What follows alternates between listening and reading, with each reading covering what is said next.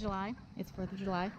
It is really, really hot. I'm actually about to go in the pool right now, but I wanted to show you guys. So, opened up the weather channel on my phone. I got this like heat advisory um, from in effect, but the temperature outside right now is 93 and feels like 108. So that's super. So it's important to keep your chickens really cool when temperatures get this high if you live somewhere where it gets hot or even if you live like up north and it just gets a little bit warmer in the summer. Your chickens aren't used to that.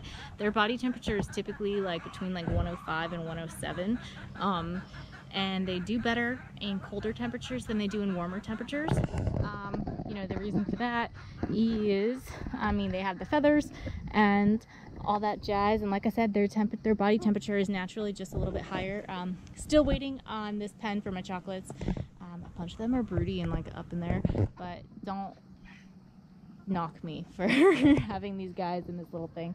They are moving out of there soon. Um, but um, so I have some treats in the freezer that we are going to give them later.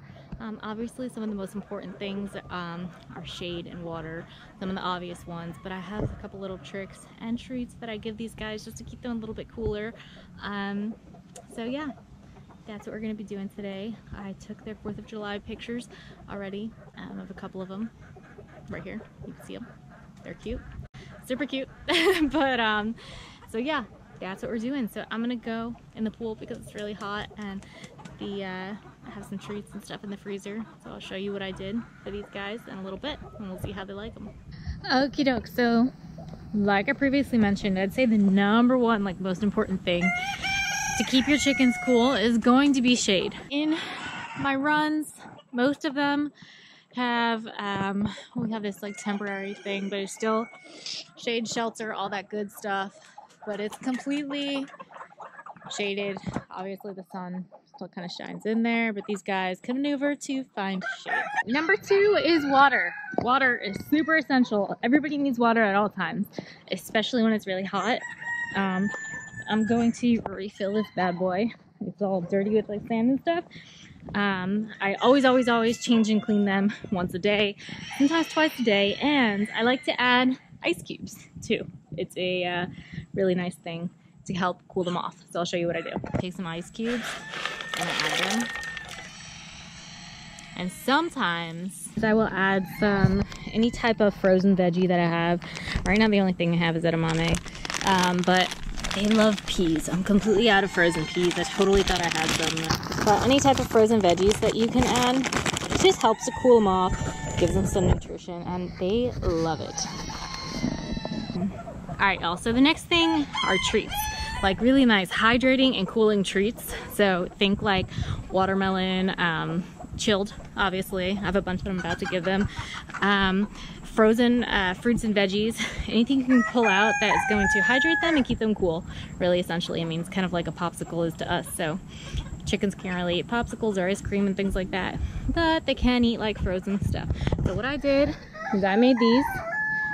Um, I took obviously like a little like muffin pan type thing, um, added some water, and then I took some canned corn and put them in there, froze them, and took them out, and they look like this. I'm just letting them thaw out a little bit so that I could pop them out and feed them to them individually. Chickens love corn. Alright, so next up for the chicken, we have watermelon. Um, accidentally got yellow watermelon. I cut it up and then I popped it in the freezer for about a half hour just to give it kind of some extra chill.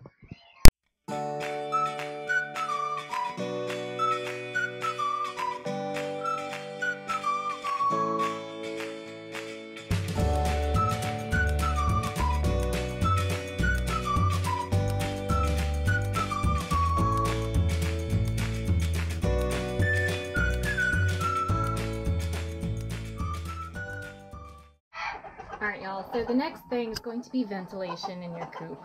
Um, you will have hens that hang out in the coop when they're broody, when they're laying eggs. I have two fans to pump um, hot air out.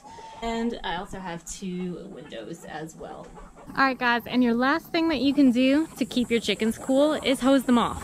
I've dragged a, uh, a hose out here before and just kind of like, kind of just like sprayed everyone down the entire run, walked back and forth, up and down. And then if you ever have a chicken who is like showing signs of like, um, you know, like heat stroke, um, heat, uh, God, what is it? Heat exhaustion. Um, you can take that individual uh, chicken and soak them in cold water. Um, you could take them like not like ice cubes or anything, but just like regular like hose. Like fill up a bucket with like some hose water and hang out with them and just get their like feet and their like um you know their like lower body and let them soak. I'll show you right now what I do. I don't have anybody who obviously is like really really hot but like you'll know it you'll recognize the signs hopefully if you have just a chicken and you know, usually wings kind of like just outstretched, droopy, they're lethargic, they may be sitting there, they'll be like panting. Um, if it's like, if it's like really bad, they might be laying on their side, not moving. Um, it's, it's a thing, it happens to chickens. So if you ever like catch that and you see a chicken that just looks really, really, really hot, I mean, don't, you don't have to be like really anal about it or anything, but if you see a chicken that looks really hot, you could take them and just dunk them like I'm about to show you. All right, I'm gonna show you with Kit Kat. I just, she was available to grab. She clearly is not like having heat exhaustion. I actually took her away from the watermelon. She was a little bit upset. But we're going to, I'm going to show you kind of just like how you would soak a, uh, a hot chicken.